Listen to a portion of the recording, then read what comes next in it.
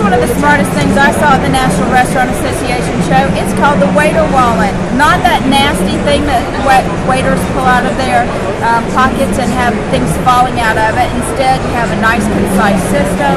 All your specials go here. You can download and customize your menu here. Put your dollars and those pesky credit cards that fall out right here in one place.